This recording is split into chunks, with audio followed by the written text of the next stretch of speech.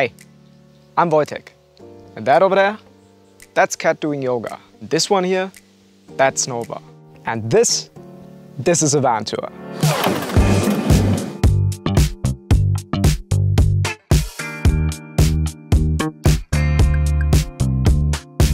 Nova is a 2016 converted Citroën Jumper camper van and it is where we live now, permanently. I introduced you to our van for the first time in the last video and many of you wanted a tour, so we are doing a tour. But one thing I want to mention is we did not build this van out ourselves. But we did it with the help of a company called Happy Campers. This video is not sponsored, I just really much appreciate what they've built for us. And if you want to know why exactly we didn't do that, which actually has many different reasons, feel free to leave a comment down below. And if any questions during the to pop up, leave them all down below. Many of you already had questions, but I figured to keep this video sweet and short, we will do a van tour only and then do the Q&A the next week or the week after that. I just figured it would make way more sense to actually do this after you see what we are dealing with here. Other than that, I want to say that this is kind of a van tour 1.0. We're still figuring things out and it is all very fresh, so expect another update at some point in the future. For now, this is what it looks like.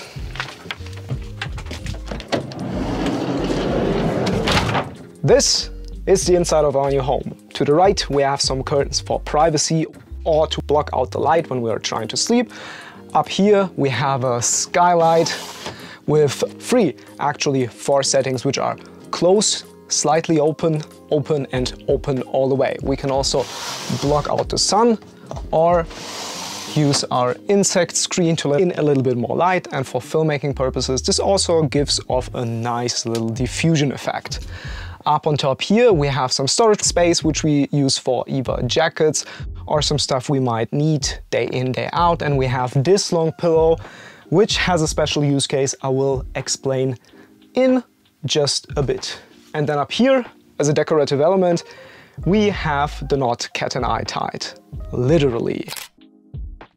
Then right in front of us we have the office slash the living room with our two-story shoe shelf for our Birkenstocks and our sneakers. Then we have two seating opportunities with an adjustable table. This one can be dragged into the room and back. You can also pull or push it back and forth and you can also adjust the height, which if you put it all the way down and then you grab the long pillow and put it on top, turns into a couch, which is awesome because it gives us more space, more flexibility, and potentially also can be used as a short little guest bed. Oh, but let me quickly get this one out. It's a wasp. German wasps are the worst. Get out! Also, we have two windows and they're kind of blacked out. I cannot really show you much because it's incredibly bright outside but they're not like fully blacked out. It's basically, if you're far away, you cannot really see in, but if you're up close, you can kind of gasp what is going on. Ah. And especially at night, when we turn our lights on here, you can really see everything. Which is why we got curtains. My mom made those, by the way, so Thanks mom. And the curtains you can either pull them to one side or the other, or if you want both parties to see, what we actually do sometimes is you can wrap those up all the way here. Beneath this seat, as we open this up, is what I like to call the center of power. Inside here we have a 200 milliamp hours battery, we have an inverter for everything that needs more than 12 volt and a charging booster to charge our battery while driving. What you don't see in here or anywhere else is that up on top on the roof we have two 100 watt solar panels to get a bit of charging going also when we are not driving. Then inside our second seat we have our portable toilet. And I don't know what exactly this is called in English, but this is a dry toilet system, which basically means poo and pee get separated, which mainly prevents the solid stuff from smelling. And then the opening to the urine tank is so small that also basically no smell escapes. And once either of the tanks is full or you just feel like it's about time, you simply go and empty it. Once you're done, you put it back in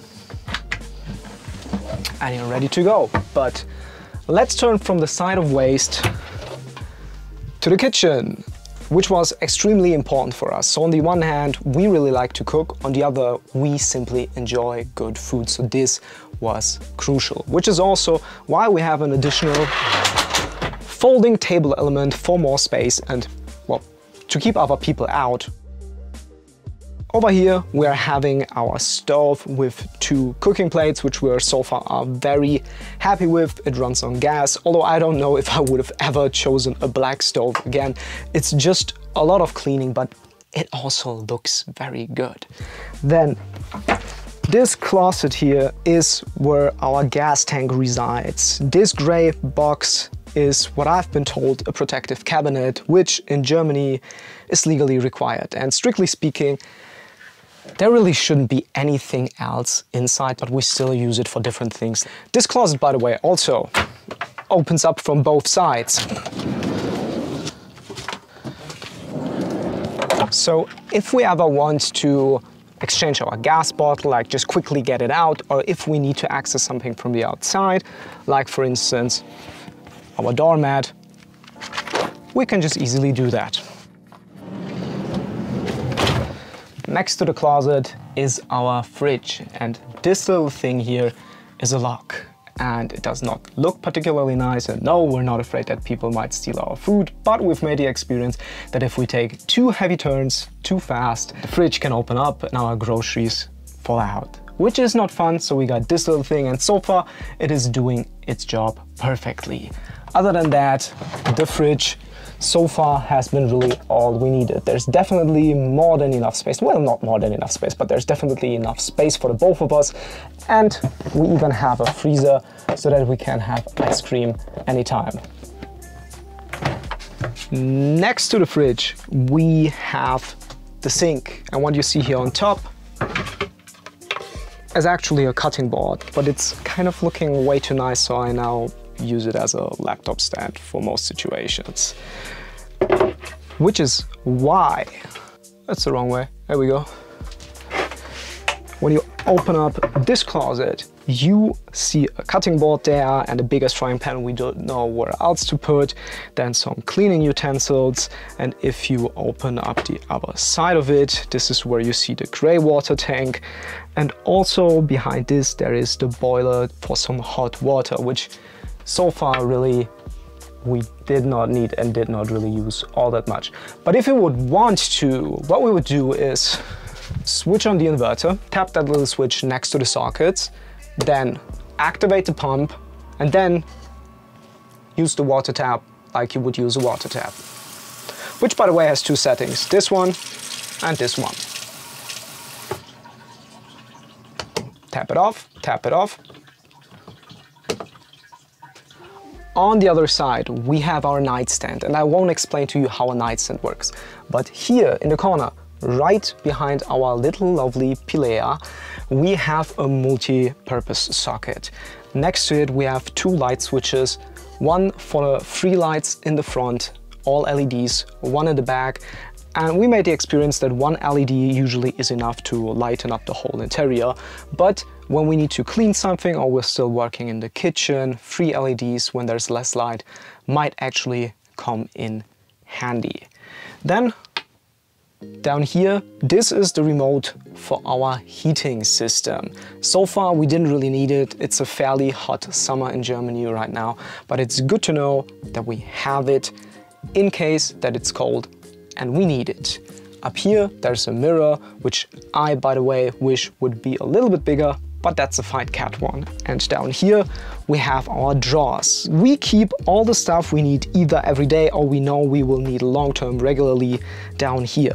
One of the drawers is nicely organized with, well, those four organizers and stuff in between so we don't need to really search all too long for our small stuff. Then the drawer below is not as organized, or actually it is, but it's more functionally organized. What we have in here are those small wooden boxes for our cutlery, some kitchen utensils, down below for even more kitchen utensils.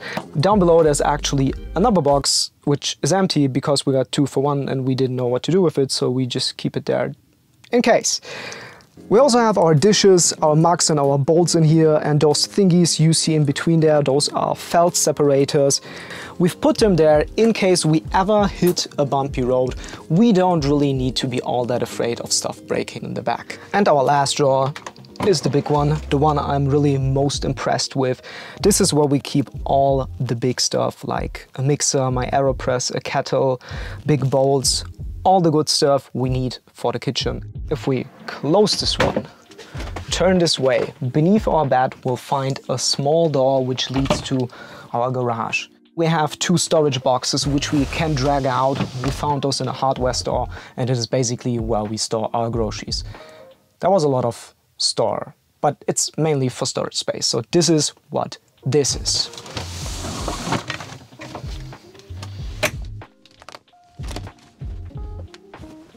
Which after an extensive tour brings us to the area of relaxation and sleep our bed. We very intentionally opted for a fixed bed. The alternative would be a pull-out bed, which gives you a little bit more space during the day, but you also have to face the daunting task of making your bed every day twice, in the morning and in the evening. And Kat and I know from experience that at some point we'd either stop making or start hating it, probably both.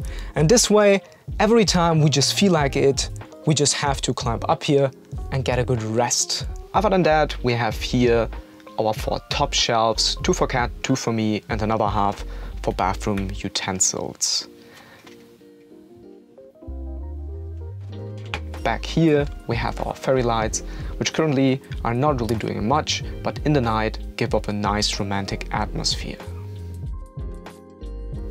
Up here we have another skylight and we also very intentionally opted for only one curtain instead of two, so that if we ever want to enjoy the scenery, we can simply drag it to the side and do so without interfering with our view.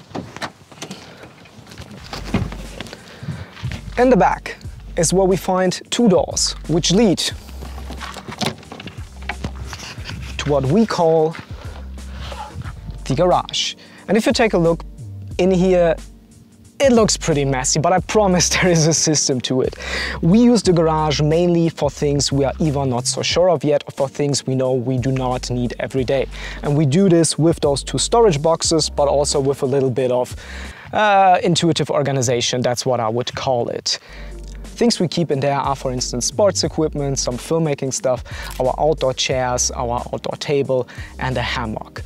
The garage as well is the place where the heater and the water tank reside. The heater on the right, there's really not much to show you. The water tank here to my left. This here is the lid. When we open this up, it is the place where we fill up our 80 liters of fresh water. And down below we have a lid, a flap. Not exactly sure what to call this, but basically we have the option to connect a shower here and get one in case we need one, we want one, which we, by the way, do. And that sums up the tour. So, in summary, I know this is not the most basic, most minimalist build out, and it's also not the most luxurious one. It's somewhere in the middle, and that makes it kind of perfect because it is perfect for us. And this is really what matters because we live here. I, in part, witnessed the whole discussion around van life not being what it used to be and van life being that, where it formerly was this romantic thing where people just tried to make things work with as little as they got, and now it became this huge flex and, and industry and all. But I don't really care for it because we are just trying to make this work for us. And I think there's absolutely nothing wrong with that. And also, like I mentioned in the beginning, we're not really done here. We have some ideas and one thing we definitely want to do is personalize this more because right now this could be anyone's van. We could rent this out very easily, but that's not really what we want. What we actually want is to make this our home. And with that being said, if you have any further questions, please leave them down below. I'm really looking forward to doing the Q&A next week or the week after that, like I said, because I'm going on a bit of a break. We're going on a bit of a break. Since this year, we've so far not really taking any time off properly. And that is about time to do a little bit of a honeymoon before the actual travels, the actual van life gets started. And I'm really looking forward to that. And me taking a break in real life hopefully does not mean taking a break from uploading videos for, well, all of you guys. I much appreciate you being here and I see you.